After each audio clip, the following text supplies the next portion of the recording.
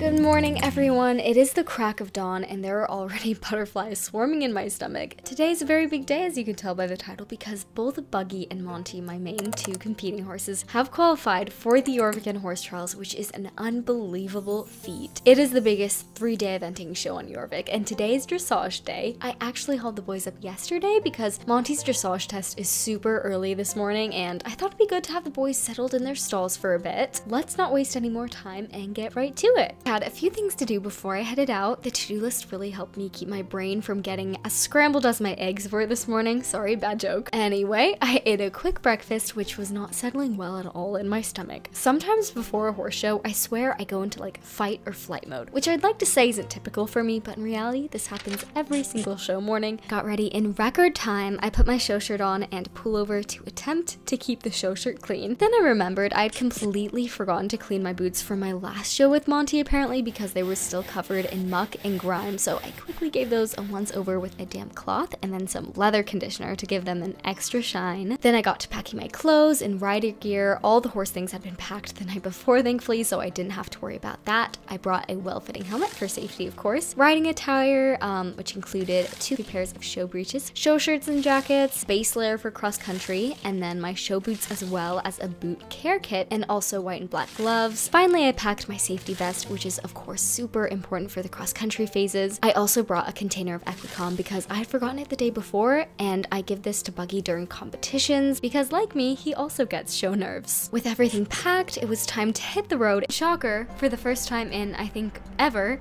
I was actually right on time. Monty would be the first to kick off the weekend with his dressage test, which was bright and early at 7 a.m. Technically, the weekend was kicked off with a trot up, and good news, I mean, obviously both boys passed, or I wouldn't be here. Anyways, can we just appreciate the fact that Monty looks like a little ninja or something with his hoodie? I plaited up his mane yesterday just to give me that precious extra hour of sleep, and it did a really good job of keeping the plaits in. And despite having overnight boots on, as well as a stable blanket, as well as a hoodie, he is a talented one because he somehow managed to get poo stains all over him, so I had to break out the stain remover. I just hope he can bring that same talent out to the show ring. At 6.30 a.m. sharp, I let him out of the barn to give us plenty of time to get a proper warm up in. It's quite interesting. Every time I get on my horse at a show, my nerves just sort of melt away, and it's like all that matters, as cheesy as it sounds, is just me and my horse. And hey, if this round went horribly, I would have a second try with Buggy. Our next rider is Molly Riversea and her horse, Montgomery.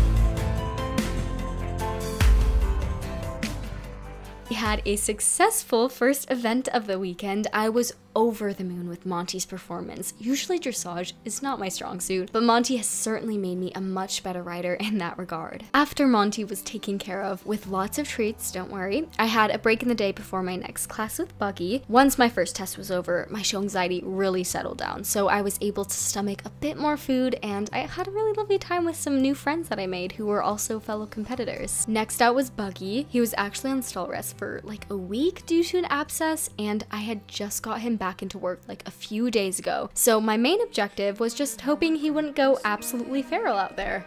Our next rider is Molly Riversea and her horse, It's a Bug's Life.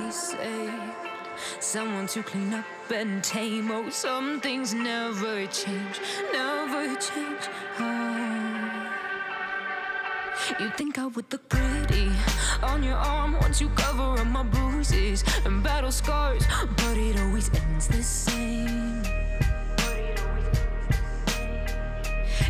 The things I've had to face. Got you crying on your knees in pain. Oh, some things never change, never change. Oh, you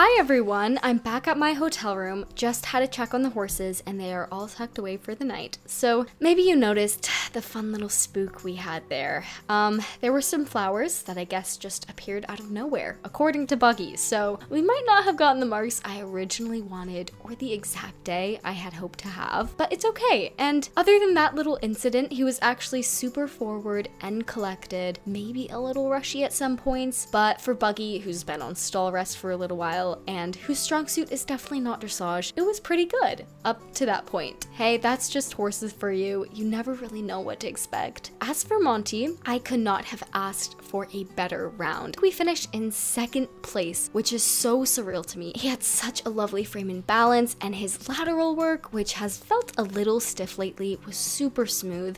Um, anyways, guys, I'm pretty tired, so I'm gonna hit the hay, but I will see you all in the morning for show jumping.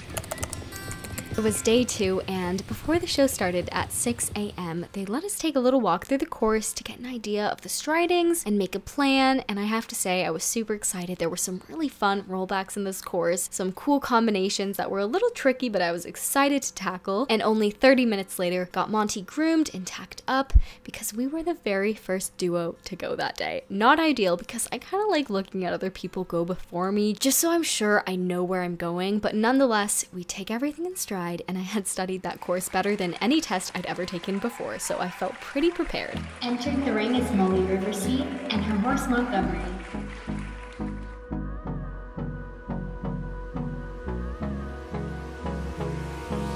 Hold me close till I get up.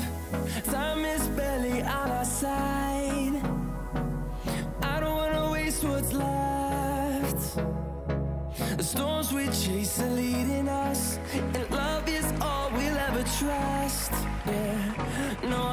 And look at that, we were slow and steady, perhaps a bit too careful, but it was clear and we didn't go over time, so I couldn't have been more happy. And at the same time, I know we could have done even better, but hey, that just leaves room to grow. An hour later, Buggy was ready for his round, and here's where I made a crucial mistake. When we hauled Buggy and Monty out to the trials, we had taken them in separate trailers in order to keep them from getting buddy sour during the weekend. I completely spaced and walked right past Monty's stall. When Buggy let out a frantic whinny, I knew I had just screwed up. Oh, good grief. When it came time for our warm up, Buggy was pretty upset and very distracted. Popped him over the warm up jump a few times, and we had several refusals, which just made my heart sink. After a little bit of schooling him, he was getting his brain back, and just in the nick of time because then the judges called us up.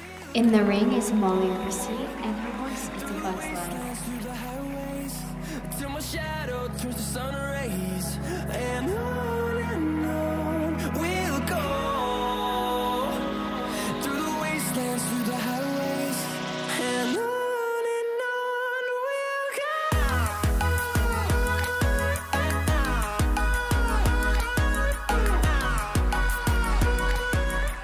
We were flying through the course. We did unfortunately get eight faults during a tricky combination. He did get a little strong on me, but other than that, he handled everything like a champ, especially considering he was graced with Monty's presence and couldn't get him off his mind for a moment there. But luckily, he got over it. I was too nervous to even check the placings. It was killing me a little bit, but I just wanted to go into the cross country day with a clear head and no expectations. With my show jumping rounds done and over with, basically at 12 p.m., the day felt like it was already over. But lucky for me, they had a writer's banquet lunch and dinner event throughout the day to socialize and connect with other competitors. I thought I would be getting bored on this particular day, but I quite liked having the day to not stress about anything, or at least have a break from the nerves until morning. Somehow, cross country day was upon us. The horses had been working so hard for me, so they got some body work done to help ease some muscle tension and get them feeling really good for the big day. The course was particularly tricky, definitely not for the faint of heart, with lots of winding paths, difficult combinations, and quite frankly, intimidating obstacles. This was actually my first ride out cross country since my fall a few weeks ago with my client's horse Pumpkin. So, walking through the course got me excited but also nervous. I was delighted to see that Monty was my first ride of that day, though, and he always takes care of me out on the cross country course, so that definitely made me feel a bit better.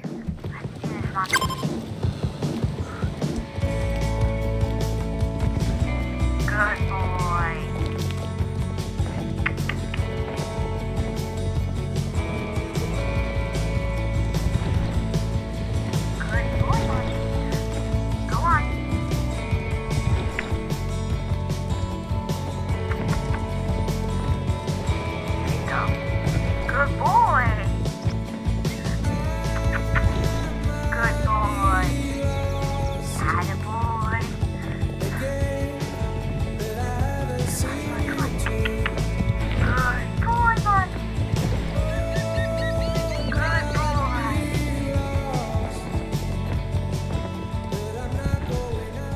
Said, everyone, Monty always takes care of his rider. He is such a reliable ride. I think I started to tear up after that final obstacle because of how overwhelmingly proud I am of this incredible horse. He was bold and confident without getting cocky and completely taking over. Completely helped me out. Such a forgiving and good boy this one is. Now, it was time for Buggy. After such an amazing round with Monty, I felt barely any pressure here. I was just ready to go out and have a fun time with my horse, despite this being one of the biggest shows of my life.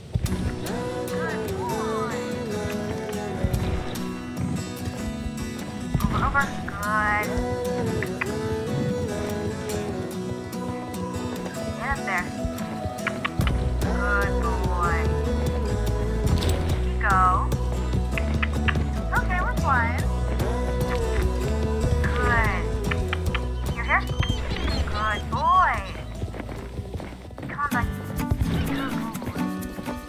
This horse can be tricky at times, but when I get my stuff together, boy is he just incredible. He's a very honest horse, so when I'm off my game, he knows it. So I think my round with Monty really helped and gave me such a good confidence boost. I think he could just really feel that throughout the round. Well, as of now, my round with Buggy has been the fastest clear round of the entire show. Of course, the day's not over, but right now we're sitting at a cool first place for our cross country round. What can I say? This horse is just an absolute beast on the cross country course. Moving on to our top five placings for the coveted Jorvigan Horse Trials, we have Abigail Brightman with her horse Lucky Lady. Coming in at fourth place, we have rider Molly Universi and her horse Montgomery. Congratulations. Monty snagged fourth place out of 80 horse and rider duos. What a surreal experience this all has been. And I can't forget about Buggy, who was just on the verge of the top 10 and ended up receiving 13th place overall. Even though the weekend started off a bit shaky with our dressage round, he really tightened it up in cross country and he did end up receiving first place with that. I'm just a super proud horse mom today to have worked so tirelessly to qualify for the Jorvigan horse trials and then for it to pay off like this is such an incredible feeling. But I will leave you all right there with lots more adventures from the Cosmic Equestrian Center to come in the future. Make sure to subscribe to be part of our barn family, and I will see you all in the next adventure. Bye, everyone!